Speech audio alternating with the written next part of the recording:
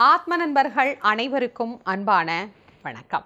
நம்முடைய ஆத்மஞான மையம் யூடியூப் சேனல்ல தொடர்ந்து நம்ம நாயன்மார்கள் பற்றிய பதிவு பார்த்துக்கிட்டு இருக்கிறோம். இன்னைக்கு நம்ம பார்க்க போறது முனையடுவார் அப்படிங்கிற நாயன்மாரை பற்றி.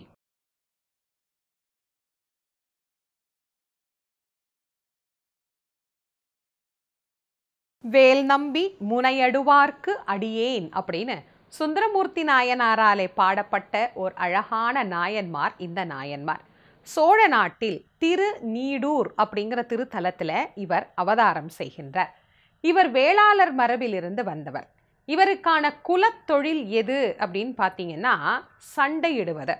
சண்டையிடுவதை ஒரு குலத்தொழிலாக கொண்டிருக்கக்கூடிய ஒரு போர் வீரனாக விளங்குகின்ற இவர் என்ன கைங்கரியம் பண்ணியிருக்க முடியும் அப்படின்னு நீங்கள் நினைக்கிறீங்களா? அவருடைய வரலாற்றை கேட்டுட்டு நிறைவில் நீங்கள் யோசிச்சு பாருங்க இப்படி ஒரு அடியார் இருந்திருக்கிறாரே அப்படின்னு. உயிரை பணயம் வைத்து சிவகைங்கரியம் செய்த ஒரு அடியார் அப்படின்னா முனையடுவாரை நாம் அதுக்கு குறிப்பிடலாம். இவங்களுக்கு பரம்பரை பரம்பரை பரம்பரையாக வீரர்களை உருவாக்குவது அப்படிங்கிறதை வழக்கமாக கொண்டிருந்தார். வீரர்களை உருவாக்குறதுனா என்ன? இப்போ ஒரு நாடு இருக்கு. ஒரு நாட்டில் ஒரு பிரச்சனை அப்படின்னா அந்த நாட்டில் இருந்து படைகளை திரட்டி கொண்டு சென்று எதிரி நாட்டோடு சண்டையிடுவது அப்படின்னு ஒரு வழக்கம் இருக்குது இப்போ இன்னொரு நாட்டுக்கு நம்ம போய் சண்டையிடுகின்ற போது அந்த நாட்டினுடைய படைபலத்துக்கும் நம்முடைய படைபலத்திற்கும் ஒரு பெரிய வேறுபாடு இருக்குது நம்மக்கிட்ட படைபலம் ரொம்ப கம்மியாக இருக்குது அப்படின்னா நம்ம என்ன பண்ணணும்? பல வீரர்களை நாம் துணைக்கு அழைத்து கொண்டு போய் அந்த நாட்டில் இருக்கக்கூடிய எதிரிகளை நாம் வென்று விட்டு வரணும். இப்படி தான் யுத்தத்தை அந்த காலத்தில் முறைப்படுத்தி இருந்தார்கள். இல்லை அதை விட இன்னும் ரொம்ப பலசாலியான ஒரு நாடு எதிர்க்குதா? அப்படி எதிர்க்கிற போது என்ன பண்ணுவாங்க? அந்த படைபலமும் பத்தலைன்னா மக்களை போய் கூப்பிடுவாங்க. வீட்டுக்கு ஒருத்தர் வாருங்கள் நாட்டை காக்க புறப்படுவோம் அப்படின்னு. இப்படி பல வரலாறுகளை நம்ம சங்க இலக்கிய காலங்கள்லேயே நம்ம படிச்சிருக்கிறோம் இல்லையா? அப்படி இருக்கிற போது நாட்டிலே யாருக்காவது யுத்த நேரத்தில் வீரர்கள் தேவைப்பட்ட ஆட்கள் தேவைப்பட்ட என்ன பண்ணுறது அதற்கான ஒரு பயிற்சி கூடமாக இவர்கள் பரம்பரை பரம்பரையாக வீரர்களை வளர்த்து வருகின்றார்கள். அப்படி வளர்த்து வரக்கூடிய அந்த வீரர் பரம்பரையில் இவர் ஒரு பெரும் வீரராக விளங்குகின்றார். தனக்கு கீழே பல குழுக்களாக பல வீரர்களை பயிற்றுவித்து கொண்டிருக்கின்றார். அவர்களை இளமையில் இருந்தே அந்த வீரத்துறையில் எப்படி இருக்கணும்? மல்யுத்தம் எப்படி செய்யணும்? குதிரை சண்டை எப்படி செய்யணும்? யானை சண்டை எப்படி செய்யணும்? வாழ் சண்டை எப்படி செய்யணும்? தேரில் போய் எப்படி நம்ம சண்டையிடணும்? அப்படின்னு எல்லா விதமான சண்டைகளையும் பயிற்சி செய்து கொடுக்குறார். ஏன்னா எப்போ யார் எந்த வீரர்கள் கேட்பாங்கன்னு தெரியல இல்லையா? அதுபோல அந்த வீரர்களை எல்லாம் பயிற்றுவித்து பல குழுக்களுக்கு இவர் தலைவராக இருந்து பராமரித்து கொண்டிருந்தார். நாட்டில் மன்னர்கள் திடீர்னு ஒரு பிரச்சனை அப்படின்னு வந்தா அது குறுநீல மன்னனோ பெருநீல மன்னனோ யாரா இருந்தாலும் சரி அவர்களுக்கு ஒரு பிரச்சனை அப்படின்னு வந்தா உடனே இவர்கிட்ட தான் எல்லாரும் வருவாங்க. எங்களுக்கு சேனை வேண்டும் எங்களுக்கு ஆட்கள் தேவைப்படுகிறது இவ்வளவு ஆட்களை அனுப்புங்கள் அப்படின்னு.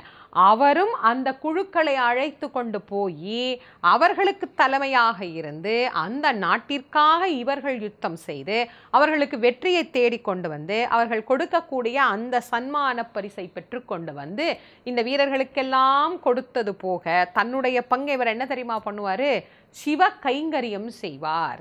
ஆலயங்களை புதுப்பிப்பார். ஆலயத்திற்கு வேண்டும் என்கின்ற அனைத்து விதமான வழிபாட்டு நெறிமுறைகளுக்கு உண்டான பொருட்களையும் வாங்கி கொடுப்பார். அன்னதான பணி செய்விப்பார். முக்கியமாக குடமுழுக்கள் செய்ய முடியாத கோவில்களுக்கு குடமுழுக்கு செய்து வைப்பார். இந்த குடமுழுக்கு என்பது ஒரு ஆலயத்திற்கு மிக மிக அவசியமான ஒன்று.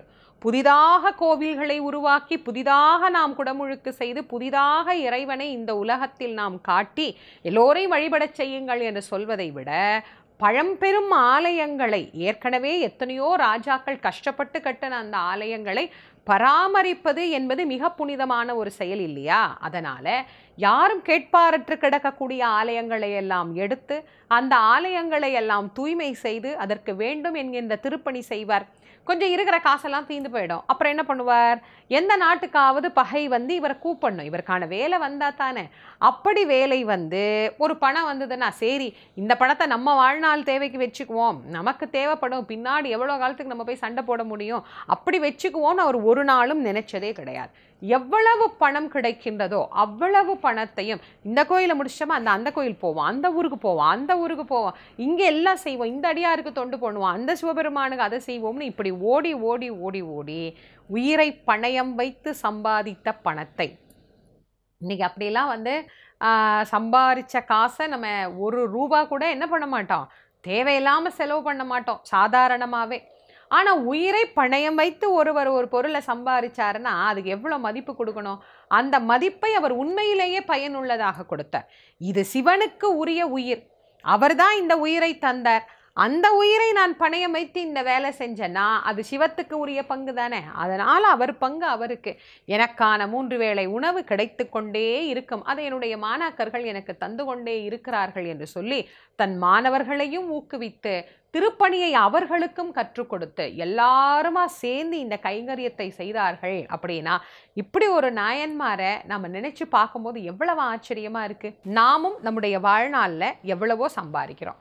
அது குறைவாக இருந்தாலும் சரி அதிகமாக இருந்தாலும் சரி அதிலிருந்து ஒரு பங்கு ஒரு அஞ்சு ரூபாயோ ஒரு பத்து ரூபாயோ ஒரு நூறு ரூபாய் ஆயிரம் ரூபாய் ஒரு பத்தாயிரம் அவரவருடைய வசதிக்கு தகுந்த மாதிரி நான் சொல்கிறேன் எல்லாரும் பத்தாயிரம் ரூபா கொடுக்கணுன்னா முடியுமா? சிலருக்கு சம்பளமே மாதம் பத்தாயிரம் தான் இருக்கும். அவர் போய் நீங்கள் கொடுங்க அப்படின்னா முடியுமா? ஏதோ ஒரு பங்கை தெய்வ கைங்கரியத்திற்கு நாம் திருப்பணி செய்தோமேயானால் அது மிக உயர்வான பலனை நமக்கு கொடுக்கும். இப்பணியை மட்டுமே செய்து கொண்டிருந்த இந்த அடியாரை இறைவன் ஒரு நாயன்மாராக நமக்கு அருளி செய்தார்.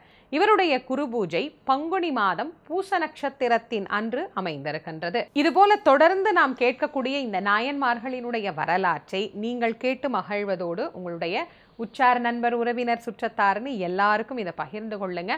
நம்முடைய ஆத்ம ஞானமயம் யூடியூப் சேனலை இது வரைக்கும் சப்ஸ்கிரைப் பண்ணலைன்னா பண்ணிக்கோங்க.